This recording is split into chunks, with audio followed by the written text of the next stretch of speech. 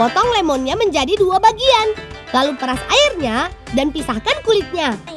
Air lemon kaya akan vitamin C. Bikin badan jadi nggak gampang sakit.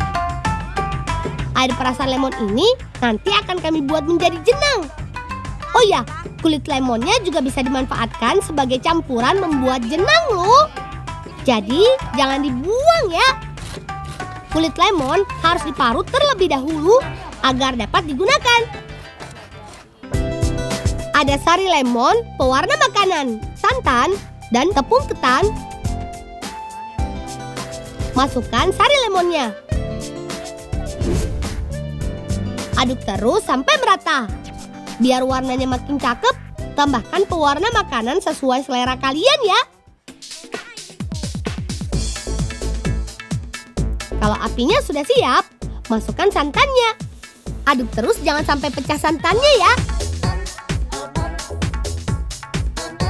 Masukkan gula pasir, lalu aduk lagi. Tuang adonan ke dalam wajan besar dengan api sedang. Aduk terus sampai nantinya mengental. Duh, eh wanita. Ya ya ya. Ya iki cek cepet sini.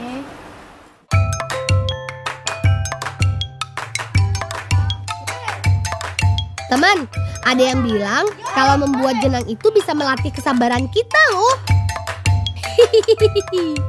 Bayangkan, kami harus terus mengaduk adonan jenang supaya kental dan gak gosong. Jangan lupa masukkan parutan kulit lemon. Lalu aduk lagi. Sabar, sebentar lagi matang nih. Ini dia, jenang lemon ala si bolang. Biar lebih asik, tambahkan kuah santan dan gula merah ke dalam jenang.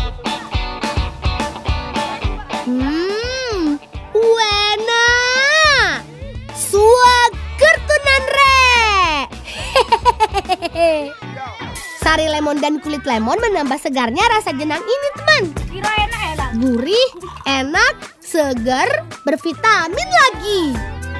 Kalau kalian mampir ke desaku, nanti aku buatin deh. Hehehe.